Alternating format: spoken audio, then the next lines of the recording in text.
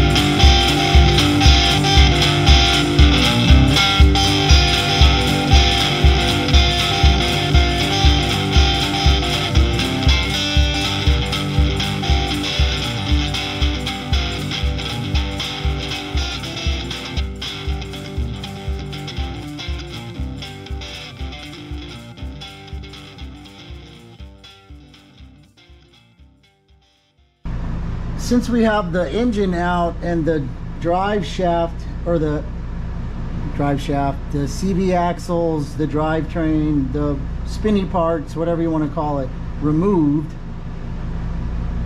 we can just take this off. Otherwise, you're, going to have to disconnect each drive shaft, CV axle, spinny thingy before you can take this off there's three points of contact.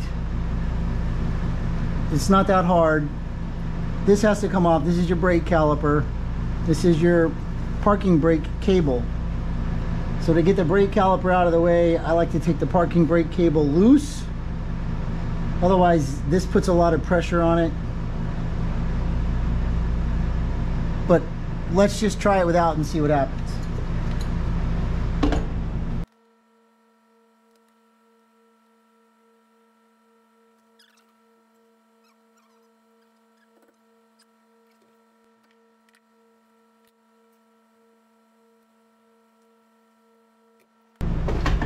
And then they make these caliper hangers. You can use a piece of rod, but I was lucky enough that somebody sent me this because I was not using one. So you can hook this here and then there's a hook hole somewhere you can't see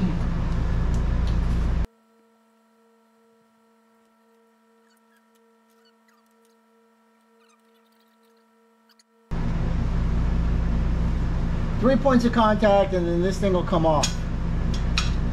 I don't want to lose those.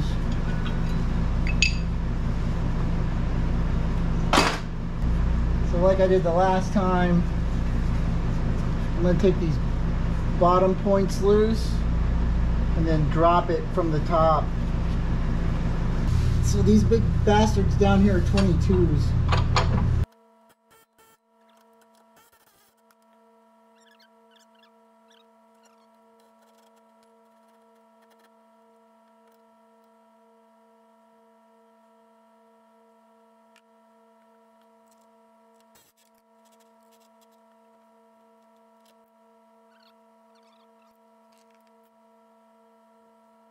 and then put your pieces back together and put them in a baggie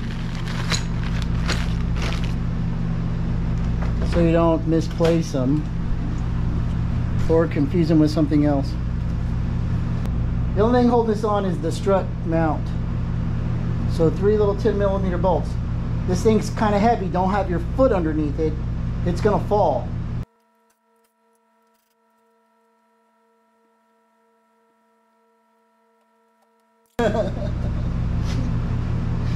Watch out for flying 10 millimeter sockets.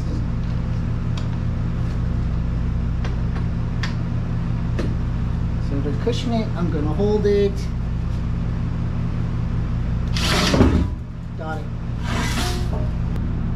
So for the rest of this, we're going to the bench. Suspension. Oh, paint. So this is your MacPherson strut. It's a shock and a spring all incorporated into one unit. And then this is your A-arm. Goes up and down. And then this is like a track bar, a Panhard bar. It keeps the suspension centered when it's going up and down. So you can see how it pivots here. There's not a whole lot of this movement going on in the car. It's mostly like up and down only. So this doesn't move a lot, but it does move. And this is a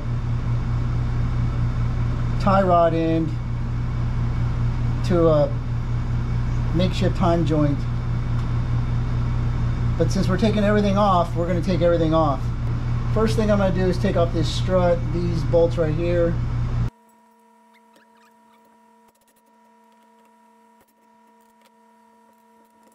So this is trash. We're not using it anymore. It's factory original. It says Fiat made in Italy. It doesn't have a date stamp on there that I can see. 128 BSTC.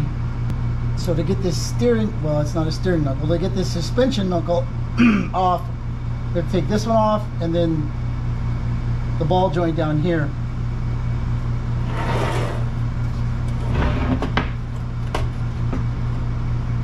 So this has got a cotter pin through it and a nut to hold it on.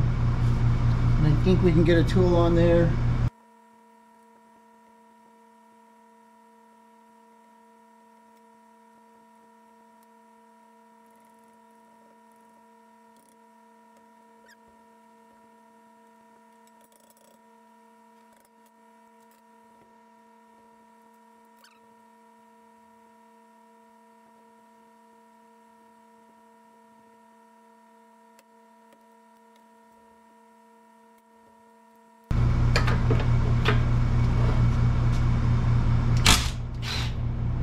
Piece of cake. Who'd have thought it? Not me. Never would have. Now, you can try to hammer this out. Sometimes that works. Give it some taps here.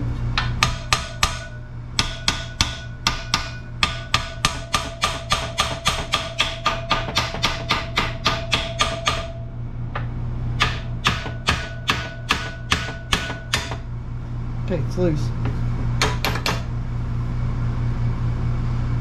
Now I'm going to pull it loose from here.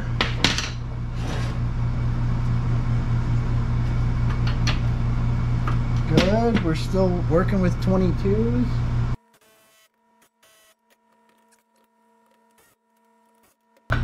Sometimes you lose torque when you use that.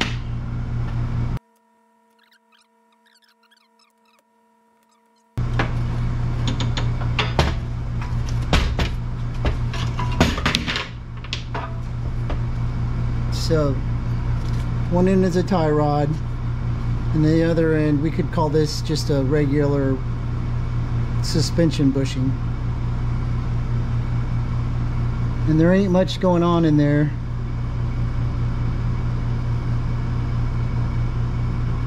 So I'm gonna say we're gonna keep this.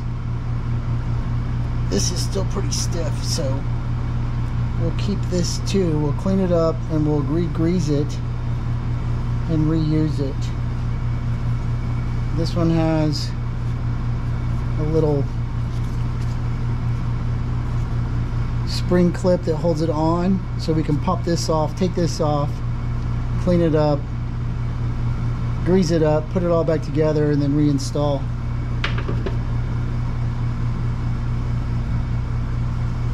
Okay, so next is this ball joint on the bottom.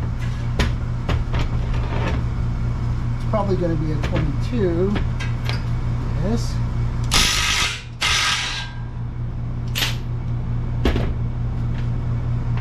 And then second verse, same as the first. You tap on this part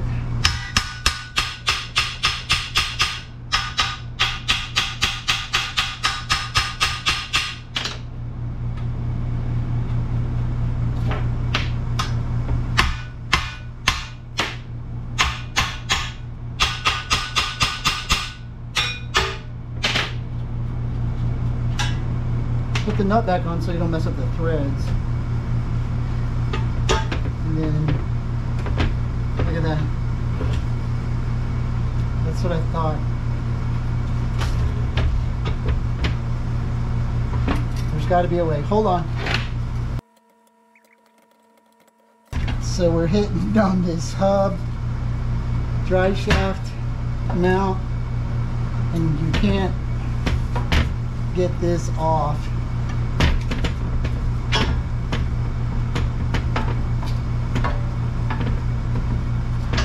I mean, they tapered it like you could.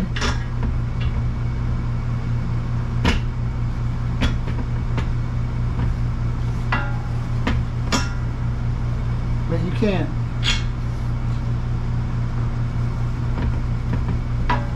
So, flip it over. We gotta take this off. And then all it, well, we're gonna have to take the brake off. Okay. So first we're going to take this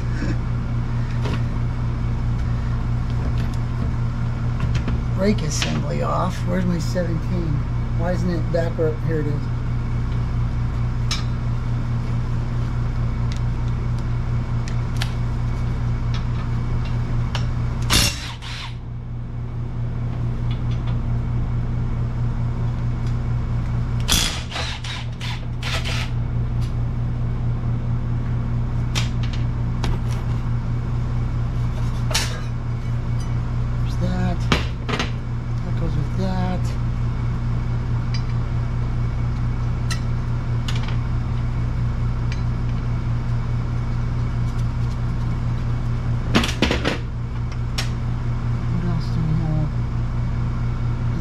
opposite side.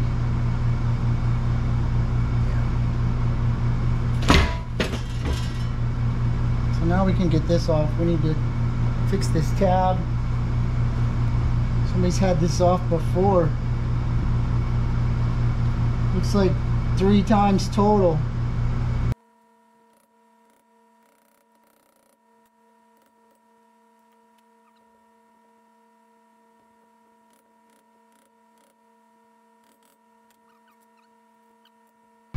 Thirty millimeters.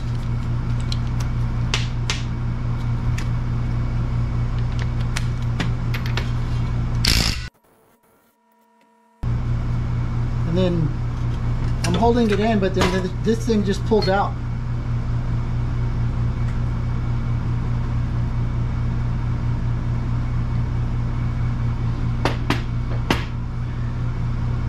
Grease, grease, grease, grease. So our wheel bearings and everything else are inside here. If I want to take this off, then I got to take these off. These are 12s. So we can pull our we can pull our arm out. Put this nut back on this. These hold the five millimeter spacer on. So here's your five millimeter spacer. And then this is the rotor. And then this is your hub. And there's one 10 millimeter holding on this dust cover. No offense, but I'm not running it. So now what we have left is our wheel hub inside of our knuckle.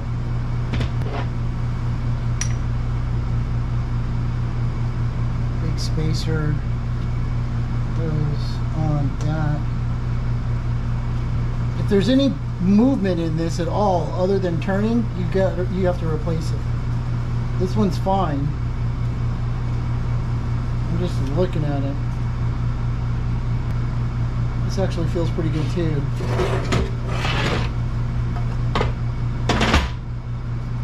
You don't see many ball joints for sale because they're riveted in, but this one's okay. I don't feel any play in it. I can hear grease. But again, we'll take it apart, clean it up, re-grease it, put it back together. This is from dropping the motor on it, well the transmission side. I did some of this, but it came like this too. So we're gonna fix all of this. Gotta get, this car's gonna be 10 pounds lighter. When we get all of the stuff out of it. So last thing I want to do is pull this rubber boot off.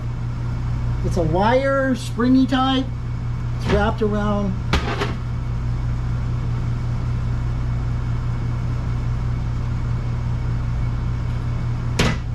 But we should be able to get it off.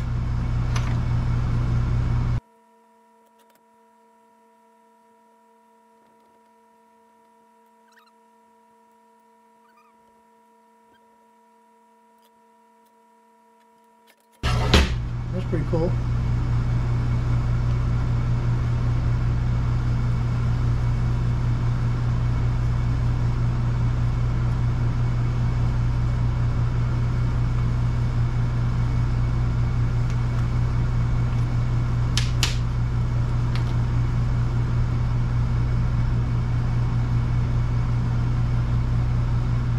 So don't tear the rubber. You can probably find replacement rubber.